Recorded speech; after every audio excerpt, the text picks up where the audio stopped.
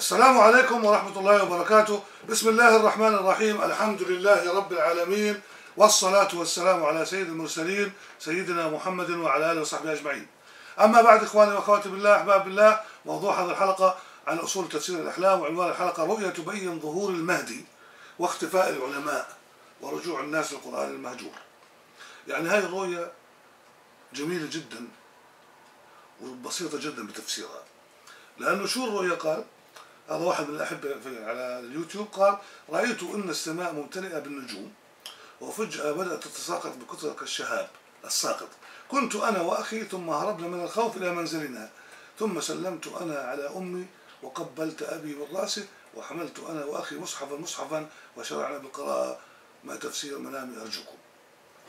يعني رؤية جميلة جدا. هسه رأى السماء ممتلئة بالنجوم. هسه النجوم بسورة النحل 16 قال تعالى بسم الله الرحمن الرحيم. وعلامات وبالنجم هم يهتدون. إذا النجوم تدل على العلماء. العلماء في السماء. بعدين بقول لك شفت النجوم بدأت تتساقط بكثرة كالشهاب الساقط. إذا هذول العلماء اللي كانوا الناس يطلعوا عليهم مشان يتعلموا منهم راح يكتشفوا الناس إنه هذول مش علماء صح. مش علماء حق. أكثريتهم مش علماء حق. عشان هيك أضلوا الناس وصلوا الناس لما يجري في القرن الواحد والعشرين والعشرين من سفك دماء وفساد في الأرض. ما بيحكوا كلمة الحق. عشان الله سبحانه وتعالى راح يسقطهم واحد ورا الثاني وبسرعة. ليش؟ لأنه راح يظهر المهدي. عشان سورة الفرقان 30 قال تعالى بسم الله الرحمن الرحيم. وقال الرسول يا ربي إن قومي اتخذوا هذا القرآن مهجورا. فالرؤيا إنه ثم سلمت أنا على أمي وقبلت أبي بالراس وحملت أنا وأخي مصحفا مصحفا وشرعنا بالقراءه اذا ترجع الناس للقرآن. كل واحد بس مصحف إذا رجوعهم للقرآن المهجور.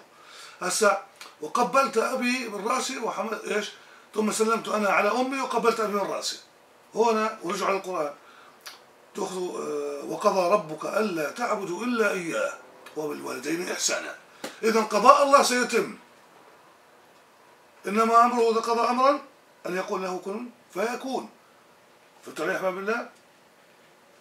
إذا شو معنى الكلام هذا الرؤيا؟ واضحة إذا بتأخذوا الآيات اللي وعلامات والنجم يهتدون وقال الرسول يا رب إن قوم اتخذوا هذا القرآن مهجورا وقضى ربك لا تعبدوا إلا إياه وبالوالدين إحسانا لأنه اجى على أم وسلم عليها وقبل أبوه من رأسه ثم مسك كل واحد هو أخوه مصحف مصحف إذا سقوط العلماء بعد ظهور المهدي راح يكشفهم على حقيقتهم إنه علمهم علم غير رباني علم ظني علم ضلالي علم سلطاني وشيطاني لأنهم علماء السلاطين.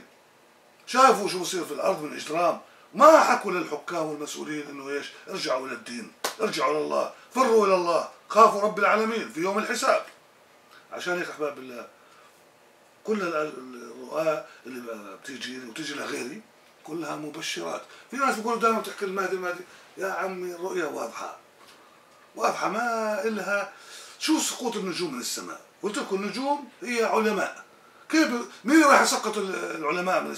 من مكانهم العالي؟ إلا يظهر الحق... العلم الحقيقي.